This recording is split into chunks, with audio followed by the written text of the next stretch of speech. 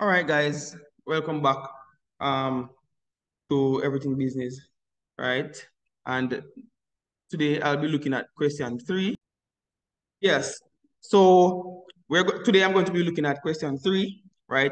Yes, last evening I would have looked at question two, provide a solution for question two for the 2023 POA paper, and now this is question three, right? So you might want to check it out, right? Remember to leave a comment, like, subscribe, share, right? Tell me what you think about this question. Tell me how you did, right? I'm, I'm curious to find out. All right, so let's go. Now, question three is all about a manufacturing account, right? So they give you a manufacturing account here, right? As a matter of fact, the question doesn't really start um, with the manufacturing account, really, you know, right? You you working out the manufacturing account, but I, I I did it so that you can see and it can flow. All right, so this is the manufacturing account. You would have been given the opening balances for the 1st of May 2022. You would have been given some information here during the year um, 2023, right? And also the end of the year, right? The closing balances. So you know that for the manufacturing account, if you realize they draw it up for you, so that's great, right? They give you the heading just the same. Um, so you know you're not going to get any mark for the heading, right? And so you start off with your opening stock of raw material, which is 23,000. Then you add your purchases of raw material, you add your carriage inwards, which is 2,000. And then that will give you your cost of raw materials available, right? Now, you subtract your closing um, stock of raw materials, which is 33,000, and that will give you your cost of raw materials consumed. You know, the, raw, the cost of raw materials consumed is what they, require they required for you to show. So they, they, they, they, they here, right, is where they ask you to do the manufacturing account. And they made four requirements, especially. They ask you to show clearly cost of raw materials consumed, prime cost, total overheads, production cost, right? That is what they ask you to show. So I normally tell my students, you know, when they ask you to show something, you can put it in all caps or you can underline it to highlight it to show it clearly. All right. So your cost of raw materials consumed is to 298,000, right? You could all caps this or you could underline it just to highlight it for them to see.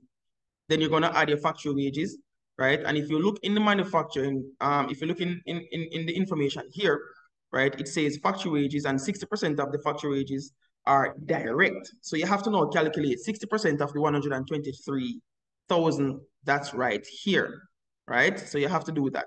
And that is how I got the 73,800.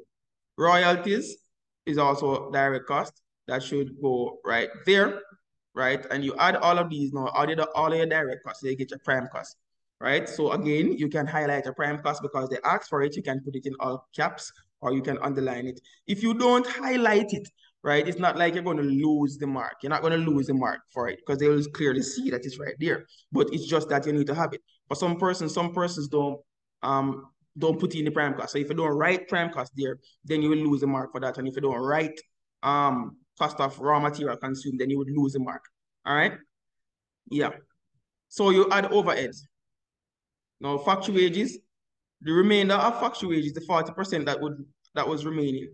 Because it says that 60% of the factory wages are direct and the rest are indirect.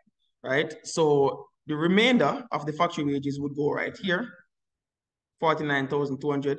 Rates and insurance, right? The rates and insurance, um, it says that rates and insurance are to be apportioned four to one between the factory and the office. So if you work out the ratio here now, right? So to the factory is supposed to be four fifths should go to the factory. How do you get four fifths, sir? You add the four plus the one, right? That give you five. So four out of five should go to the factory and one out of five should go to the office, right? So you'd say four divided by five multiplied by 45,000, and that is how I would have gotten the 36,000. Then you have general expenses, right? They said that 3,500 of the general expenses should go to the office. So you'd subtract it from, and the remainder to the factory. So you'd subtract the 3,500 from the 14,000 to get the 10,500. Then you add up these three and you get your total factory overhead, right? Which is 95,700. Normally, I would not show total factory overhead, but because they asked for me to clearly show it, I, I, I, I have to clearly show it. So I put the information in another line and indicate it there. Then I add my total factory overheads to my prime cost, right? And this would have been the, the production cost had we not been given um, work in progress. Since we're given work in progress, the rule is, or the principle is that we have to know add opening work in progress and less closing work in progress.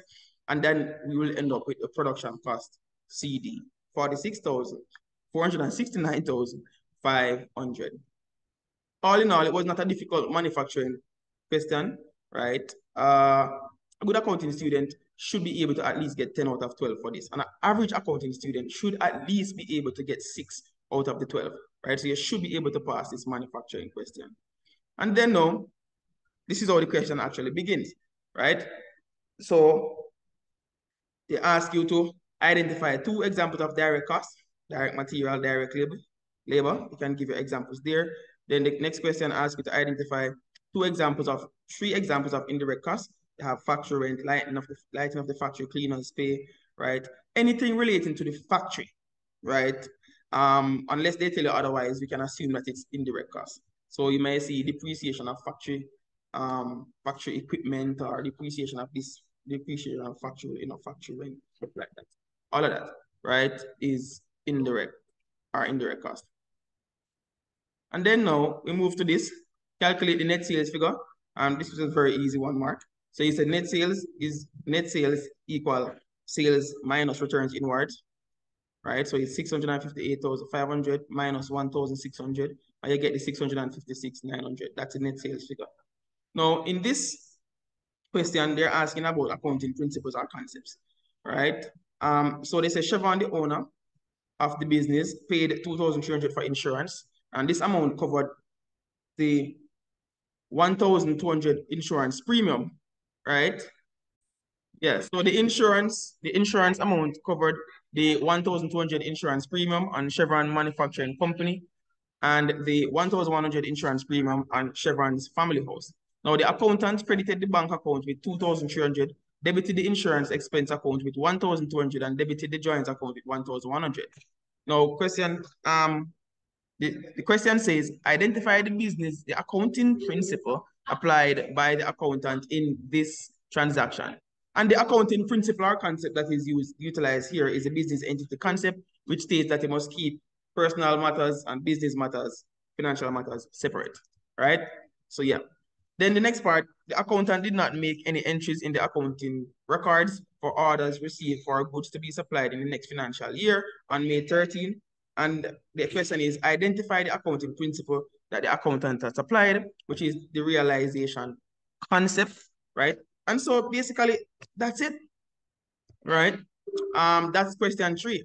Let me know how you did on question three in the comment section below, right? Um, you can give, you can let me know your answers. So if you want me to, you know, tell you if they, if they would work, yes or no.